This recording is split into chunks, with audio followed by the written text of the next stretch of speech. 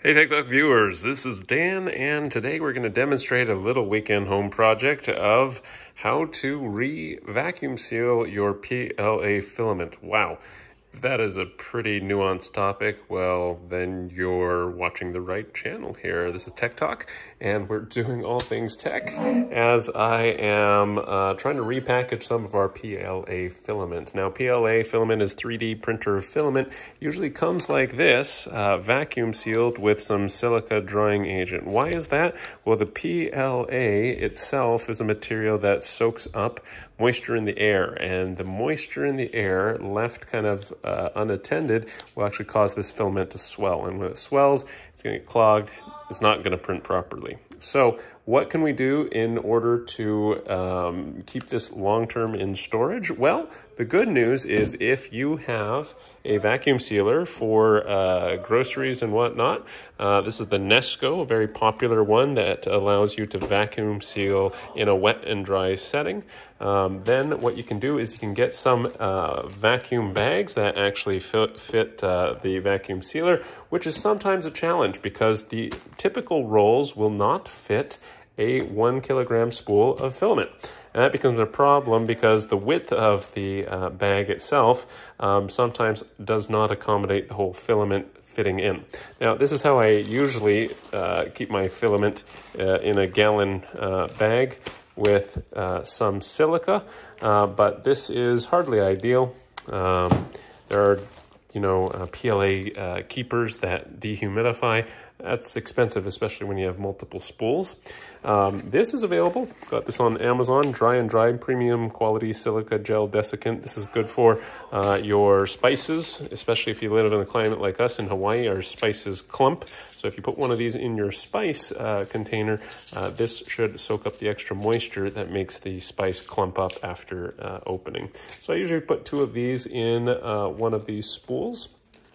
Um, and I have had a couple of these uh, just from the original packaging that I've kept. Now, um, typically with the gallon Ziploc bags, these have been able to fit inside of the width of our packaging. However, um, we have gotten some new uh, WeVac 11 by 16 bags. Now, it's important to note that your vacuum sealer has to be at least, whoops, at least uh, 11 inches wide. Otherwise, you're not going to be able to seal this across. Fortunately, these bags, also available on Amazon, I'll put up the, the link, fit PLA spools perfectly.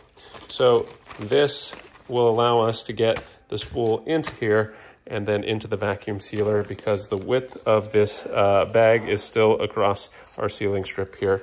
Uh, that allows us to do that. Uh, I like the Nesco here because uh, you can also pulse vacuum so that this doesn't get too tight. Uh, put too tight, then sometimes the spool itself gets kind of um, bent. So we're going to go and uh, put this, load this up. I'll demonstrate how this uh, fits and how we actually vacuum seal one of these PLA spools. Okay, I've loaded one of these in, dropped two desiccant uh, packs in the middle, and this is the Nesco um, vacuum sealer. So this has a sealing strip that just goes across the middle here, and what we're going to do is just line this up, just like that. Uh, it doesn't have to be too precise. We're going to put that on top here, clamp this down, then I'm going to pulse vacuum until this kind of gets shrunk down. So you can see it's sucking out the air. Bring this a little closer here.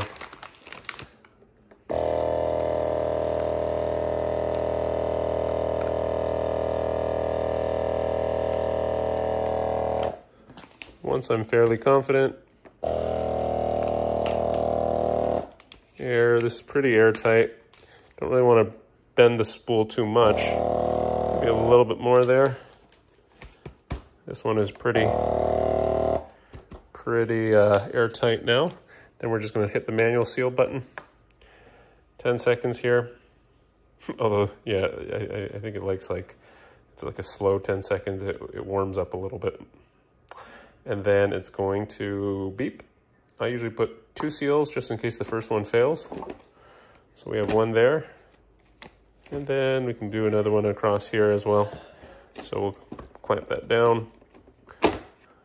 Another seal here, nine seconds. Eight seconds. Six, five, four, three, two, one. And there we have two seals across this. Should be airtight now, yep. And this is ready for longer term storage until we need to use it again. So there's another one packaged and ready to store. Let's load up another one. This is glow in the dark PLA. I hate this stuff. This stuff clogged my nozzles so many times. But let's see how it vacuum seals. Smokes, this spool is taller than the Overture spool by a little bit, so it's a snugger fit, but I was able to get that in there with that Amazon Basic PLA spool. Uh, two of the silica packets in there. Now, here's a pro tip. If you can, try to seal this higher up on the bag because as you imagine, you're going to use this again, probably cut off the top, but you could probably reuse the packaging over and over again um, more than once. So we're going to put that across here. Let's make sure that that is actually flat. This one's to lump up a little bit. Let's see if that's to work. Pulse vacuum here.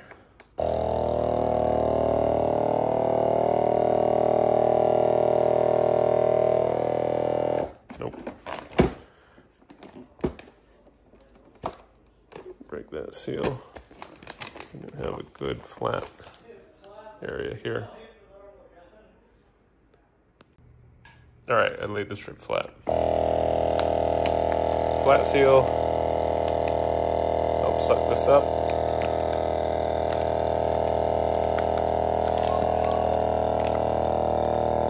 There you go. Of see that all suck in. A little bit more.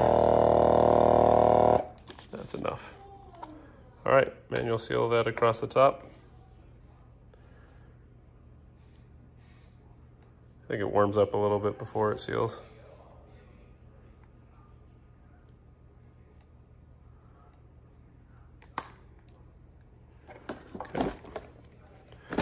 Then one more at the top here.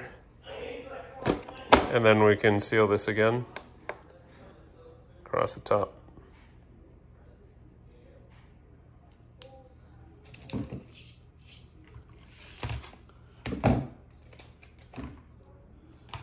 there's a kind of textured side. Doesn't really matter to me kind of which side that is on. But uh, we now have three of those. Let's do the last two here. Another overture one. And then we'll call it a day. All right, we got this loaded up. This is another overture spool of white um, laid flat down here. Got a pulse vacuum. Here we go again.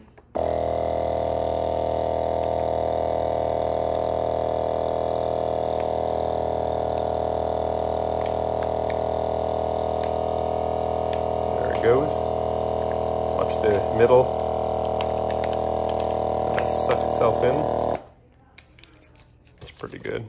Not too tight. All right, let's seal that. All right, eight, seven, six, five, four, three, two, one, beep. something very satisfying with uh, vacuum sealing stuff. Let's put one more line across the seal here. Again, repeat that. Um, it's like shrink wrapping. I wish I had a shrink wrapper, but again, this is gonna keep our PLA very uh, dehumidified, if you will and uh, help you save your spools. Okay, you can see that second line there. Save your spools for future use, um, keeping it good for the next round of printing. Got a mini spool. Let's use our uh, last bag here for our gold silk mini spool here. All right, here we go again with our gold smaller spool. Desiccant, same drill, pulse vacuum, just to suck this to the point that it doesn't break the spool.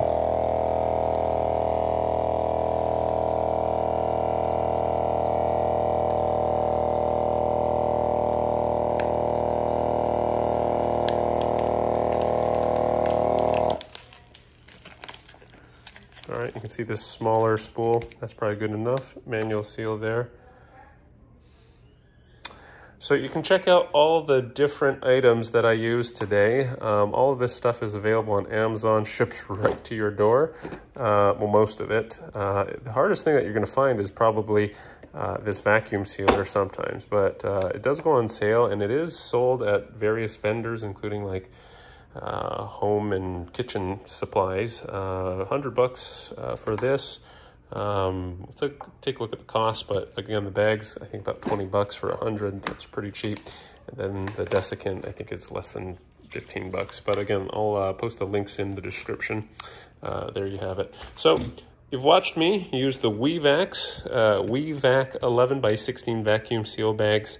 Um, I do highly recommend these bags uh, for the one kilogram spool sizes, just because a lot of other bags uh, will be able to uh, vacuum seal something small like this, uh, but these giant, look at that, this giant Amazon Basic spool compared to the Overture ones um, is thicker and oftentimes will not fit around another um, you know, a bag uh, of the, the food storage size.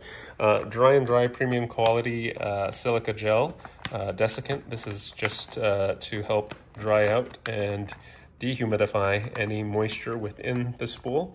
And then, of course, your uh, PLA filaments.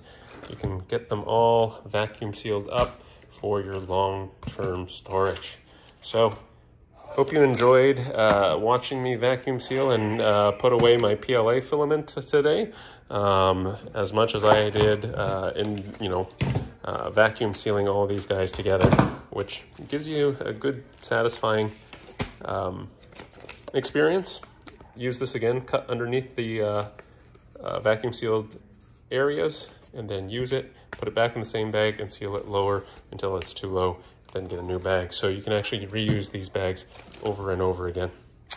All right, well, this is uh, Dan. This is uh, me demonstrating how to vacuum seal your one kilogram spools of PLA uh, using the using the Nesco uh, vacuum sealer, uh, the WeVac uh, 11 by 16 bags, as well as dry and dry silica. Hope this helps a lot of you 3D printers out there figure out how to store and restore your PLA filament.